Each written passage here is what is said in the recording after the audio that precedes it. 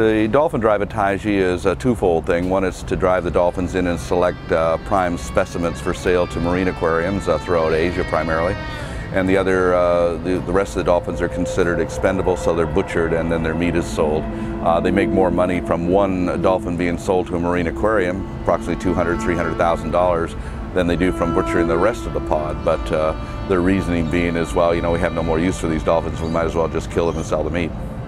When you approach any campaign, you have to have a strategy that works for that particular campaign. With the Taiji dolphin issue, we're working inside Japan and therefore subject to Japanese laws.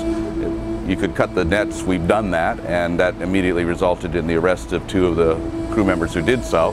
And uh, then we were no longer in a position to do that again. So that's just simply a temporary uh, approach. Uh, what we've adapted here is a long-term strategy of daily harassment over six-month periods, which last year resulted in the cutting of the kill uh, quota by half, and hopefully it'll do the same this year. We're the only group that's actually cutting that kill quota, that's actually saving dolphins, and this is the only strategy that we have found so far that is, is workable.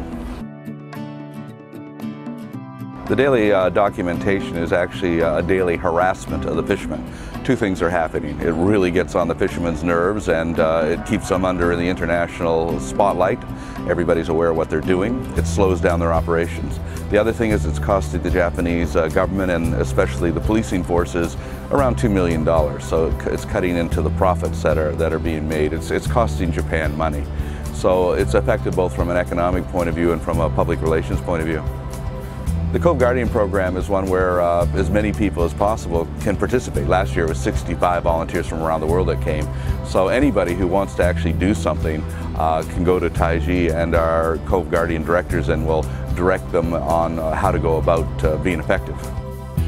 There's two ways to get involved with the uh, Cove Guardians. One is to actually physically go there and participate, and the other is to support the Cove Guardians that are on the ground financially.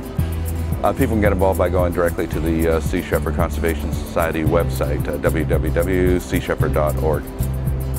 If people stop going to marine aquariums around the world, yes, it certainly would uh, decrease the demand for captive dolphins. Uh, I mean, really what we have here is a slave trade where uh, the marine aquariums are uh, capturing these animals and putting them on display for money. And uh, if they weren't making money, then they would have no need to be holding uh, these dolphins or capturing more.